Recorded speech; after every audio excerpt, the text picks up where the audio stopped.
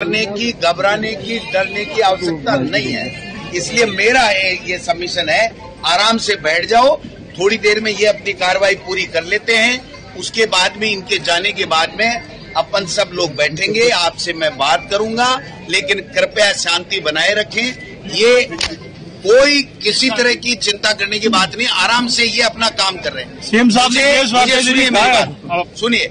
मुझे एक परसेंट भी किसी तरह की कोई तकलीफ़ नहीं है। सुनो सुनो सुनो। लेकिन अपने को अनुशासन का परिचय देना है।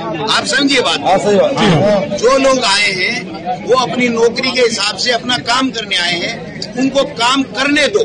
आपको गोविंद डोटासरा के ऊपर जैसा भरोसा था, वैसा कायम रखो, आराम से, शांति से बैठ जाओ। कोई नारा, कोई हल्लेबाजी नहीं करेगा। मैं हाथ जोड़ के आपसे निवेदन करता हूँ।